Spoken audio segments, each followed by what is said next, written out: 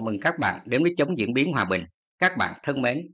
trong cuộc đấu tranh chống các quan điểm sai trái thù địch để bảo vệ nền tảng tư tưởng của đảng, bảo vệ chế độ, có những vấn đề nổi bật cần được quan tâm trước tiên. Đó là cần nhận rõ tình hình mới, nhận diện đúng các quan điểm sai trái thù địch và khó hơn nữa là xác định được những yêu cầu cần thiết để xây dựng các luận cứ, đấu tranh có sức thuyết phục. Chỉ có nhận rõ tình hình mới trên phạm vi quốc tế và trong nước mới tìm được những nguyên nhân và nguyên cớ của những quan điểm sai trái thù địch, đồng thời phải đặt ra được những yêu cầu cần thiết nhất mới có thể đưa ra những luận cứ xác đáng, thích hợp để đấu tranh với từng đối tượng cụ thể. Chống diễn biến hòa bình giới thiệu đến các bạn bài viết tình hình mới và yêu cầu đặt ra đối với việc đấu tranh phản bác các quan điểm sai trái thù địch. Bài viết của giáo sư tiến sĩ Vũ Văn Hiền. Chúng ta đang sống trong một thế giới toàn cầu hóa và hội nhập quốc tế, đa cực hóa về trật tự chính trị, đa dạng hóa về phát triển văn hóa, tinh học hóa trong đời sống xã hội, gia tăng hóa sự gắn kết phụ thuộc vào nhau và chuyển hóa lẫn nhau. Bối cảnh đó ẩn chứa nhiều chuyển biến lớn lao phức tạp khó lường, vừa mang đến cho con người những thời cơ vận hội và tràn đầy hy vọng, vừa đặt ra trước mắt nhiều nguy cơ thách thức và những lo lắng bất an. Tình hình mới trên thế giới có thể nhận rõ qua những chuyển biến nổi bật. Thứ nhất, sự chuyển dịch quyền lực theo hướng từ Tây sang Đông. Thế giới đã chứng kiến ba cuộc chuyển giao quyền lực lớn làm thay đổi cơ bản đời sống quốc tế trên mọi mặt, từ chính trị, quân sự đến kinh tế, văn hóa. Cuộc chuyển giao quyền lực thứ nhất là sự trỗi dậy của châu Âu từ thế kỷ 15 đến thế kỷ 18 dưới tác động của cuộc cách mạng công nghiệp, thương mại và đầu tư. Cuộc chuyển giao thứ hai là sự trỗi dậy của Mỹ bắt đầu từ cuối thế kỷ 19, nhất là từ sau chiến tranh thế giới thứ hai năm 1945. Mỹ trở thành siêu cường chi phối trật tự quốc tế đến cuối thế kỷ 20. Bước vào thế kỷ 21, do suy yếu tương đối của Mỹ và sự trỗi dậy mạnh mẽ của một số nước, nổi bật là Trung Quốc, Nga và Ấn Độ, dẫn tới sự chuyển dịch quyền lực thứ ba trên phạm vi toàn cầu. Đó là sự chuyển dịch trọng tâm quyền lực từ Tây sang Đông và dẫn tới sự thay đổi tương quan so sánh lực lượng giữa các nước lớn trong khu vực châu Á Thái Bình Dương. Sự chuyển dịch lần thứ ba này đã và đang tác động đến quan hệ quốc tế, tập hợp lực lượng giữa các nước, không chỉ trong phạm vi các khu vực mà biến động sâu sắc tới toàn cầu. Cuộc xung đột Nga-Ukraine cũng là xung đột giữa Nga với NATO mà đứng đầu là Mỹ, chứng tỏ vị thế của Nga trên trường quốc tế đã khác trước và quyền lực của Nga phải được khẳng định. Đó cũng là điển hình của sự chuyển dịch quyền lực làm cho cuộc diện thế giới theo hướng đa cực, đa trung tâm diễn ra nhanh hơn. Trong bối cảnh như vậy, sự cọ sát và cạnh tranh chiến lược, điều chỉnh chiến lược, tranh giành ảnh hưởng giữa các nước lớn ngày càng gia tăng quyết liệt, tác động sâu rộng đến an ninh chính trị thế giới.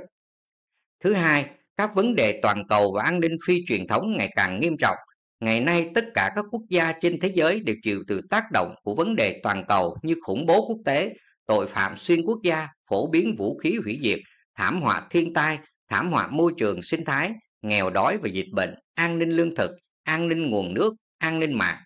Trong những vấn đề gây cấn và là những thách thức to lớn đó, thế giới đang chứng kiến đại dịch COVID-19 gây bao tai họa, khiến hàng trăm triệu người nhiễm bệnh, hàng triệu người chết và hàng chục nghìn tỷ đô la bị tiêu tốn thất thoát. Còn nữa, các cảnh báo rất cấp bách là biến đổi khí hậu, cạn kiệt tài nguyên, nhất là năng lượng và nguồn nước đang làm mối họa lớn tác động tới an ninh và phát triển của nhiều nước, nhiều khu vực. Nhu cầu về tài nguyên của các nền kinh tế, đặc biệt là các nền kinh tế mới nổi và các nền kinh tế của các nước đang phát triển sẽ tăng vọt, dẫn tới việc cạnh tranh các nguồn tài nguyên vốn đã gây gắt sẽ trở nên nghiêm trọng hơn.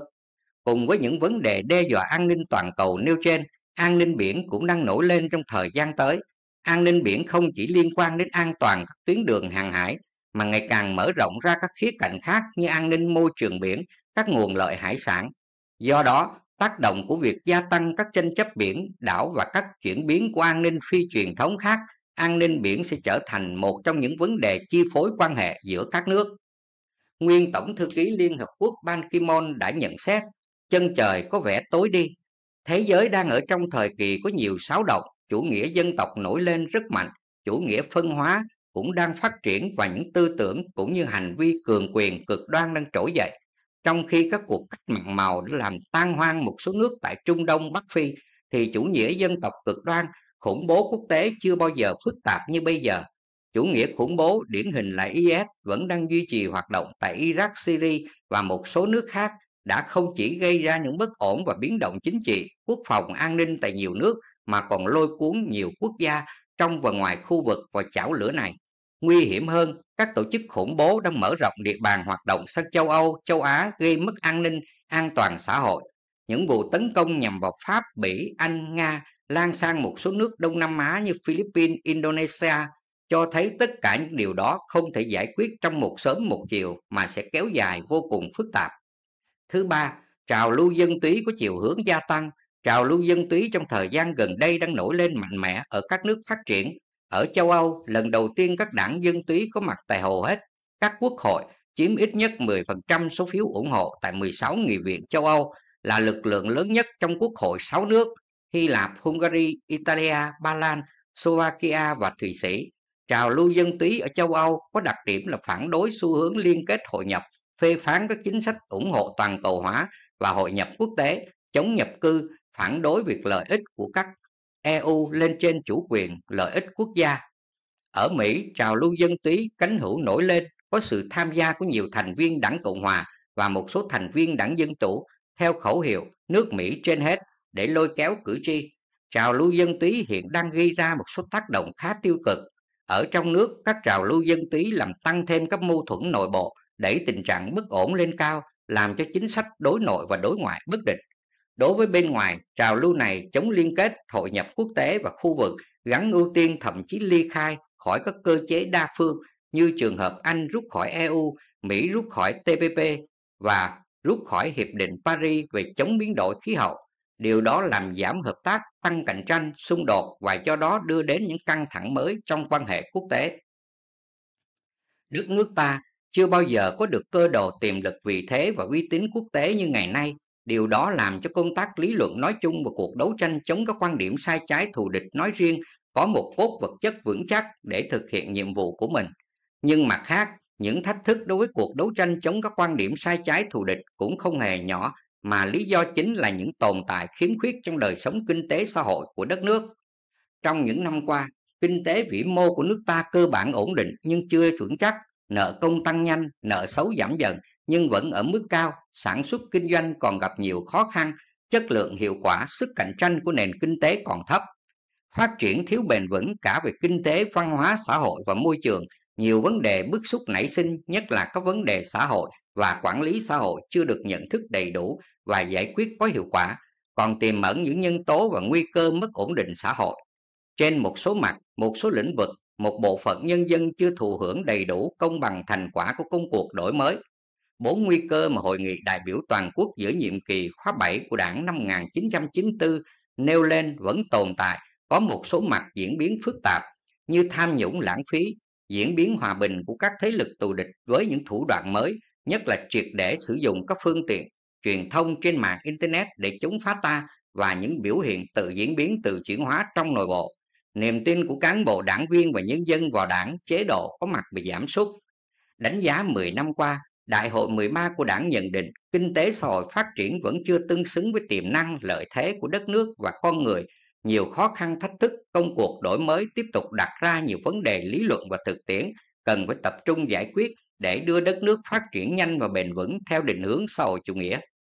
Có một vấn đề rất đáng quan tâm nữa là mọi tình hình thế giới và trong nước cả mặt thuận và mặt trái đều có thể hấp thụ được qua nhiều cách, nhiều chiều trên nhiều phương diện. Việc nghe nhìn cũng như suy nghĩ của mỗi người trong điều kiện thông thoáng bên trong, mở cửa hội nhập với bên ngoài hôm nay đã khác hôm qua. Điều đó có tác động lớn đến công tác đấu tranh tư tưởng. Chống phá chủ nghĩa xã hội, trong đó có cách mạng Việt Nam là âm mưu lâu dài nhất quán và hoạt động thường xuyên của các thế lực thù địch Hiện nay một số thế lực chuyển hướng chống phá cách mạng nước ta bằng phương thức phi vũ trang thông qua chiến lược diễn biến hòa bình. Diễn biến hòa bình là một bộ phận trong chiến lược toàn cầu phản cách mạng của các thế lực thù địch với những phương thức hành động tổng lực phức tạp, rộng lớn, được tiến hành trên mọi lĩnh vực chính trị, kinh tế, tư tưởng, văn hóa, xã hội bằng mọi biện pháp. Âm mưu thâm độc mới mà các thế lực thù địch đang tăng cường là sử dụng con đường ngắn nhất để lôi kéo Việt Nam theo họ dùng chính trị tác động đến thể chế xã hội, dùng kinh tế để chi phối sự lãnh đạo của đảng, dùng văn hóa phương Tây để làm lu mờ bản sắc văn hóa và tinh thần dân tộc Việt Nam, dùng quần chúng để tăng sự đối lập giữa quần chúng với đảng, với chế độ.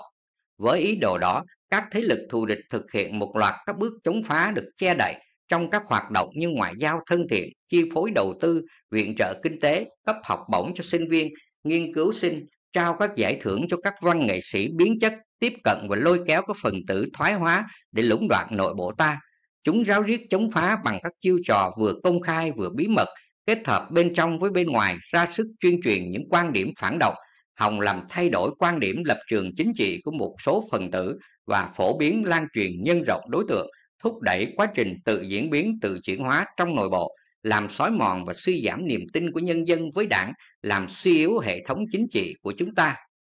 Thời gian qua, các thế lực phản động gia tăng các hoạt động diễn biến hòa bình trên các phương tiện thông tin đại chúng và Internet. Chúng duy trì sử dụng 63 đài phát thanh có chương trình Việt ngữ, trên 400 báo tạp chí, 88 nhà xuất bản tiếng Việt, hàng nghìn website blog. Trên các phương tiện đó, chúng đăng tải hàng ngàn, thậm chí hàng vạn tin, bài xuyên tạc các chủ trương đường lối của đảng, chính sách pháp luật của nhà nước. Chúng thúc đẩy hình thành các hội nhóm xã hội dân sự trong nước, hậu thuẫn cho những hoạt động tuyên truyền phá hoại tư tưởng chống chế độ, ủng hộ cổ vũ tài trợ của các tổ chức cá nhân có biểu hiện hoạt động chống đối trong nước, tạo điều kiện kết nối với các mạng lưới phản động ngoài nước, tìm cách đưa ra nước ngoài, huấn luyện và tung về trong bước hoạt động chống phá. Đấu tranh chống quan điểm sai trái thù địch là một phần quan trọng của cuộc đấu tranh chống diễn biến hòa bình, là bộ phận cốt yếu của cuộc đấu tranh tư tưởng có tác động to lớn tới sự ổn định và phát triển của chế độ xã hội. Đảng ta luôn khẳng định Đấu tranh chống quan điểm sai trái thù địch, bảo vệ vững chắc nền tảng tư tưởng của đảng là một nhiệm vụ cấp thiết giúp chúng ta khẳng định quan điểm lập trường và niềm tin và sự nghiệp cách mạng để đất nước ta dưới sự lãnh đạo sáng suốt của đảng vững bước đi lên chủ nghĩa xã hội. Cuộc đấu tranh trên lĩnh vực tư tưởng lý luận hiện nay đang diễn ra trong bối cảnh mới, có nhiều thuận lợi mới và không ít khó khăn thách thức mới. Đất nước ta chưa bao giờ có được cơ đồ tiềm lực vị thế và uy tín quốc tế như ngày nay đây là niềm tự hào là động lực, nguồn lực quan trọng để chúng ta vững bước đi lên. Điều đó làm cho công tác lý luận có một cơ sở thực tế mới, có một cốt vật chất vững chắc để thực hiện những nhiệm vụ của mình. Tuy nhiên, tình hình trong nước hiện nay vẫn tồn động một số vấn đề đáng được quan tâm giải quyết và cũng là những khó khăn đối với công tác lý luận và đấu tranh lý luận. Bên cạnh đó, những thách thức đối với công tác lý luận từ bên ngoài tác động vào Việt Nam cũng không hề nhỏ đó là những nghịch lý và những diễn biến khó lường và khó dự báo của thế giới hiện nay. Ngay cả những giá trị cao đẹp và đích thực mà nhân loại dày công tạo dựng vun đắp như hòa bình, độc lập, chủ quyền, công bằng, tiến bộ xã hội cũng bị những thế lực đế quốc phản động dùng mọi mưu mô đánh phá. Đã thế, có một tình hình là thông tin về mọi mặt đời sống chính trị, kinh tế, văn hóa xã hội ở mọi nơi trên thế giới và trong nước, cả mặt thuận và mặt trái, đều có thể hấp thu được qua nhiều cách, nhiều chiều trên nhiều phương diện. Từ đó, trong cuộc đấu tranh này, chúng ta phải kế thừa những cách thức và phương pháp vốn có, đồng thời phải có cách làm đổi mới, sáng tạo để tìm ra được những luận cứ sắc bén. Điều căn bản nhất là thấy hết những yêu cầu mới đặt ra trong khi xây dựng các luận cứ mang tính khoa học và tính thuyết phục để giành thắng lợi trong cuộc đấu tranh lý luận hiện nay. Những yêu cầu đó thể hiện trên một số nội dung chính yếu sau phải nhận rõ những khó khăn vướng mắt trong việc xây dựng các luận cứ cho cuộc đấu tranh lý luận cần nhận rõ sự phức tạp trên con đường cách mạng nước ta vì mục tiêu dân giàu, nước mạnh, dân chủ, công bằng, văn minh, vững bước đi lên chủ nghĩa xã hội. Trên con đường đó, chúng ta gặp không ít khó khăn, không ít lực cản, có những khó khăn do chính bản thân chúng ta không lường hết, khó khăn nội tại do chủ quan duy ý chí hoặc do bảo thủ trì trệ dẫn tới sự đình đốn, thậm chí vấp ngã, từ đó dẫn tới sự lúng túng và thiếu lý lẽ, thậm chí bế tắc trong lập luận. Sự kiện ở Liên Xô trước đây và Đông Âu, những nơi mà chủ nghĩa xã hội hiện thực tưởng như rất vững chắc nhưng đã bị tan rã một cách nhanh chóng, đã cho ta bài học sâu cả về tính phức tạp của thế giới đương đại và những trắc trở khó khăn của con đường đi tới tương lai của loài người. Vấn đề đặt ra là vận mệnh của chủ nghĩa xã hội sẽ phụ thuộc vào chính việc nhìn nhận rõ và khắc phục tốt những vướng mắc bên trong của xã hội, xã hội chủ nghĩa nhất là khi chủ nghĩa xã hội chưa được xây dựng một cách hoàn hảo. Đó là những vấn đề nảy sinh từ tính phức tạp của thực tiễn mà ta chưa lường hết và có trường hợp từ sai lầm về nhận thức dẫn tới sai lầm về hành động, từ sự thiếu hiểu biết mà làm sai làm ẩu, sự thiếu nhạy cảm nên chậm chạp để mất thời cơ, sự vi phạm nguyên tắc dẫn tới sự chệch hướng. Thực tiễn quá trình cách mạng của chúng ta hiện nay cũng chứa đựng những vấn đề không đơn giản. Phát triển kinh tế thị trường trong điều kiện toàn cầu hóa, mở cửa hội nhập quốc tế là những nhiệm vụ tất yếu mà chúng ta đang tiến hành. Nhưng ai cũng biết, mặc dù chúng ta luôn giữ định hướng xã hội chủ nghĩa, nhưng phát triển kinh tế thị trường càng mạnh thì tính tự phát của khuynh hướng tư bản chủ nghĩa càng tăng lên. Chúng ta lại đang ở thời kỳ quá độ, trong đó nền kinh tế và cả xã hội cũng có những vấn đề quá độ đang xen nhau rất khó rạch ròi. Quá trình mở cửa hội nhập, chủ động làm ăn với các nước tư bản chủ nghĩa lại sử dụng những giải pháp và cách thức phát triển của chủ nghĩa tư bản để xây dựng chủ nghĩa xã hội đặt ra nhiều thách đố đối với công tác lý luận và đặc biệt là công tác đấu tranh về lý luận để bảo vệ những nguyên lý và quan điểm định hướng của chúng ta. Phải xuất phát từ tư duy khoa học và sáng tạo.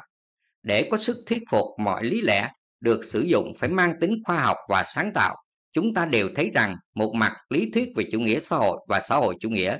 được hình thành một cách khoa học, có khảo sát, phân tích thấu đáo trên cơ sở vận dụng những quy luật khách quan. Nhưng mặt khác đôi khi chúng ta không chú ý hoặc vô tình bỏ qua một vấn đề quan trọng là những luận thuyết về chủ nghĩa xã hội được xác lập dựa vào những phương pháp trừu tượng rất cao. Phải tìm tòi và gạt bỏ những vấn đề những yếu tố đặc thù hoặc không cơ bản để đi sâu vào lý giải những vấn đề cốt lõi lý thuyết nguyên bản cội nguồn đó khi được áp dụng vào những tình huống cụ thể lẽ ra phải tính tới sự gắn kết những điều kiện bên ngoài với bên trong và phải được soi rọi từ thực tế thì sự vận dụng nhiều khi biệt lập không cân nhắc đến khía cạnh đó nên dễ bị kiên cưỡng và thường gặp những vướng mắc khó có thể tháo gỡ.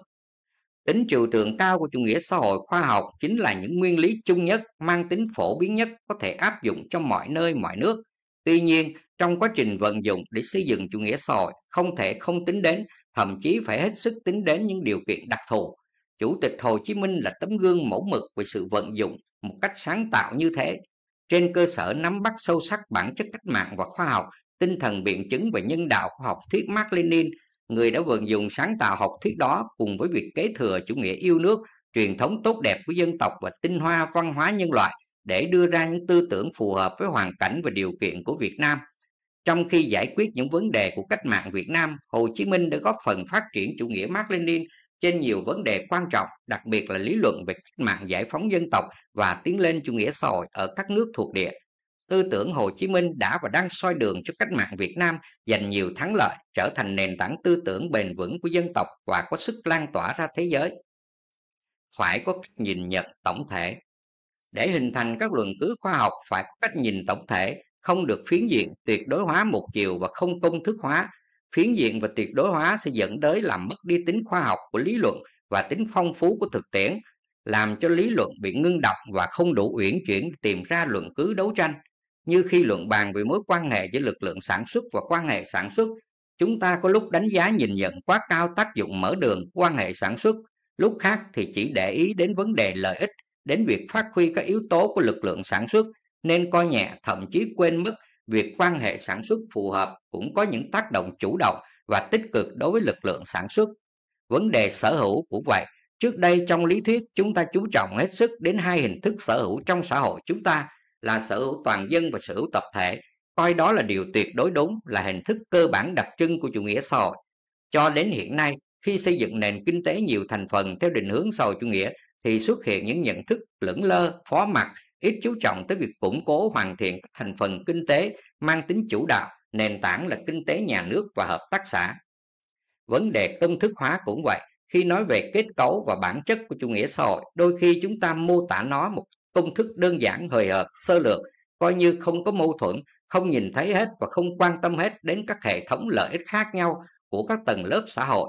Tất cả những điều đó đã vô tình hạ thấp vị trí và vai trò của hệ tư tưởng xã hội chủ nghĩa và trên thực tế sẽ tạo ra những cơ chế kìm hãm sự phát triển kinh tế xã hội của đất nước. Căn cứ từ thực tiễn Luận cứ để đấu tranh chống các quan điểm sai trái thù địch cần lấy căn cứ từ thực tiễn, quan tâm đến vấn đề của thực tiễn đặt ra. Nếu trong đấu tranh lý luật mà cứ đi theo công thức định sẵn, không chú ý đến các vấn đề mới nảy sinh trong kinh tế, không để tâm đến tâm trạng xã hội và tình cảm của nhân dân thì không thể đủ sức thuyết phục một khi công tác tư tưởng lý luận cứ theo một khuôn khổ cứng nhắc, không đề cập đến những vấn đề thực tiễn đang nảy sinh và hoạt động của mình thì nhất định các tư tưởng lý luận xa lạ, sai lệch sẽ xen vào.